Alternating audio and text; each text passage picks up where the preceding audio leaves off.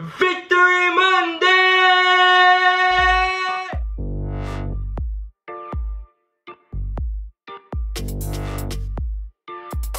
Welcome back to the channel, guys. Oh, Owen the C, and we are back. I appreciate you spending your time here us on the channel. How about those Tampa Bay Buccaneers? Of course, they played on Saturday against the Detroit Lions, and today is Monday. They got the win. That makes today a Tampa Bay Buccaneers Victory Monday!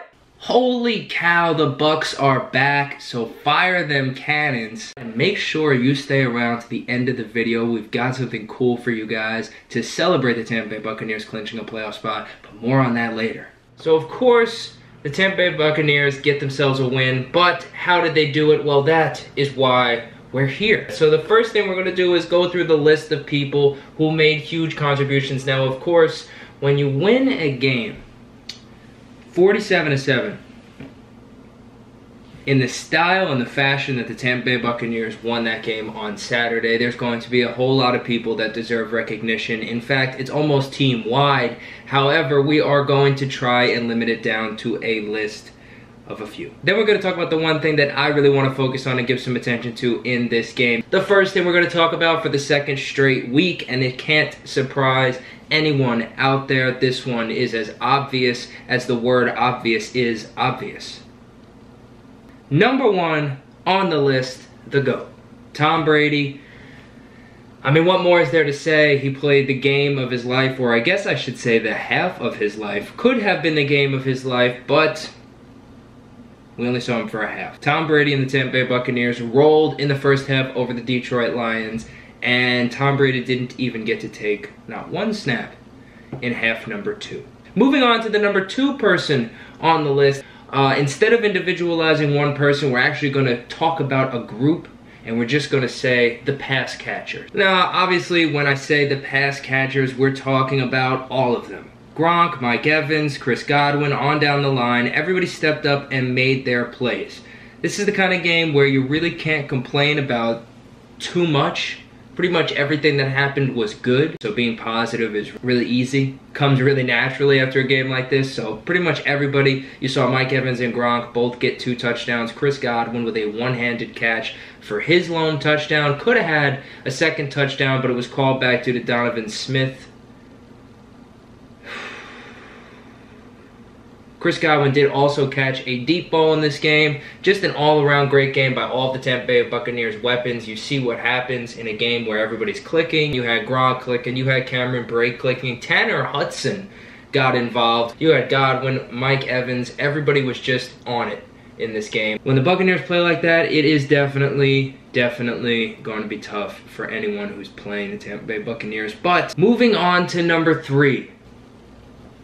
Lavonte David. Now, in a game full of highlights, Lavonte David had a highlight that might go completely unnoticed. But Lavonte David made a huge play in this game coming out of halftime to start the third quarter. The Detroit Lions had the ball, and you could easily easily make the argument that the game was already out of reach. It was already over. It didn't really matter what happened on that drive. However, Lavonte David came up huge and immediately took the ball back for the Tampa Bay Buccaneers to start the second half. And the reason that that was major or crucial is twofold. Number one, if there was any chance the Detroit Lions were going to turn it around in that game and gain any sort of momentum, it was going to be coming out of the half. They got the ball to start the second half. That was a chance for them to go to the locker room, reset, adjust, adapt, move forward. That was a chance for them to grab momentum if there was going to ever be one. The other reason that it was crucial was because of the fact that Tom Brady was done at that point. That was going to be the first drive Blaine Gabbert was in the game, which is an interesting point I'm surprised nobody's talking about, but that's a story for another video.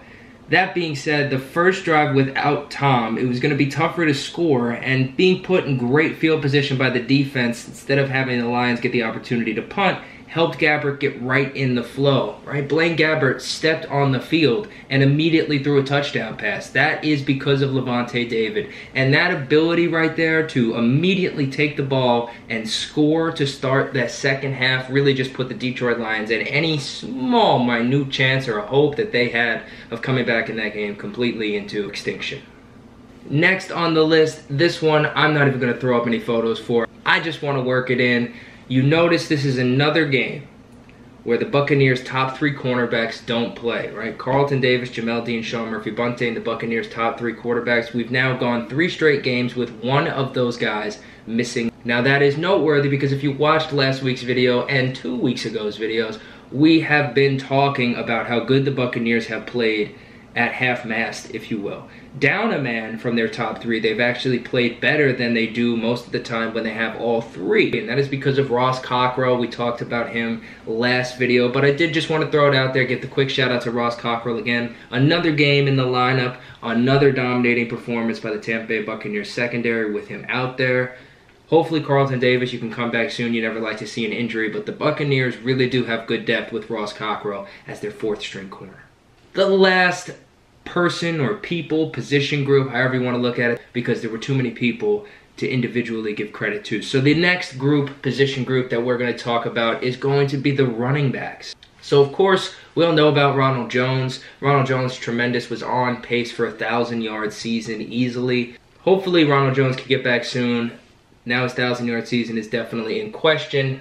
However, that's neither here nor there, not what we're here to talk about in this video. We're here to talk about the running back depth behind Ronald Jones. Now, I was really on the train of Leonard Fournette getting more and more opportunities once Ronald Jones went down, thinking that if you gave him 20, 25 touches a game, he would definitely produce you close to 100 yards total from scrimmage uh, and maybe a touchdown or two. Now, the Buccaneers have not given Leonard Fournette anywhere near those touches in these two games without Ronald Jones. However, they have featured the running game just enough to at least satisfy me and at least pacify my urge to see it. Leonard Fournette in this game, you saw him get it rolling early. Had a couple of nice plays in the passing game, getting some checkdowns from Tom Brady and turning them into big yardage. Got a touchdown run, was heavily involved early in the game plan. However, the Tampa Bay Buccaneers took such a commanding lead. Bruce Arians went out of his way to make sure that he played younger guys and didn't give all the touches that he could have to certain individuals, Leonard Fournette being one of them.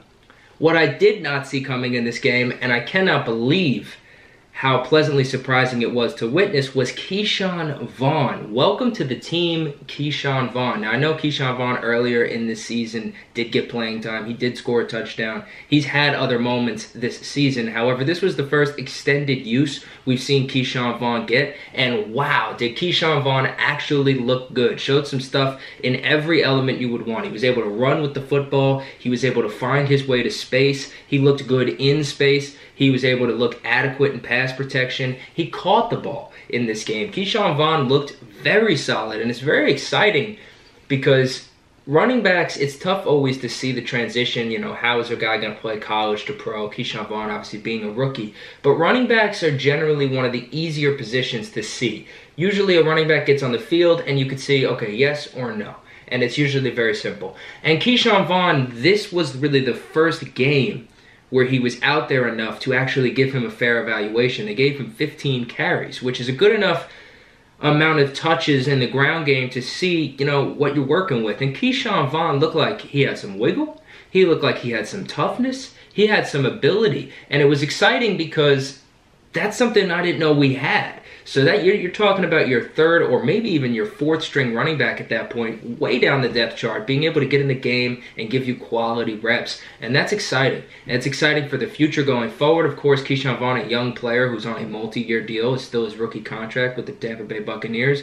So that's exciting to see. That's an exciting building block moving forward, a good piece to have for the offense who knows? I mean, this is a guy who did not play in the preseason because there was no preseason, had the truncated offseason, barely has played this year thus far, but now you see he's getting this opportunity and running with it, making the most out of it. So that's really exciting to see. Ke'Shawn Vaughn, a big game for the rookie. Congratulations, Ke'Shawn Vaughn.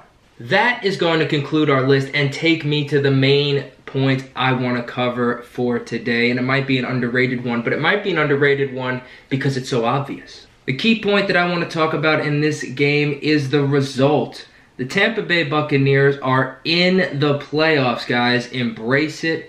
Embrace today. Embrace this victory. This is not just an ordinary victory Monday. This is what we wanted. This is what we needed. The Tampa Bay Buccaneers have made the playoffs, 10 wins on the season, and we clinch a playoff spot. Right here to close out this video, we have a little bit of something special for you guys to put a cap on this Victory Monday. But remember, it's not a normal Victory Monday. The Tampa Bay Buccaneers are in the playoffs. So breathe it in, soak in this day, enjoy it, relax think about it constantly. Make sure it puts a smile on your face because today is not just any Tampa Bay Buccaneers Victory Monday. It's a special one, but I do still need you to yell. I need you to get loud. Right here with me. It's another Tampa Bay Buccaneers Victory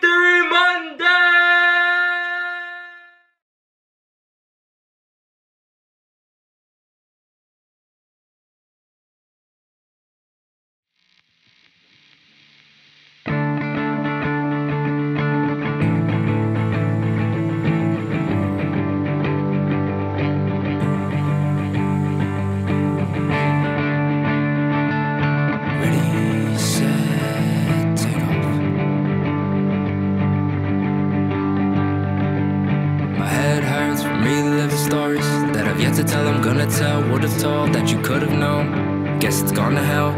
Yeah, you never really noticed the day turned to red from yellow. Bucks tea in the corner thrown off, and the room goes dark. Only light peeking through the doorway. From the kitchen windows, raindrops make the pitter pat. Click clack, the AC's back. Putter on the birdie tap, laying next to greener grass. I wish I could ride with See, I often have this dream stomach is winding I jump like I'm climbing And each one just taking me Further away Don't touch pavement For a long way Why do I see it? Why do I dream it? Why do I want it? Just like I need it I wish I could run with. I wish I could rent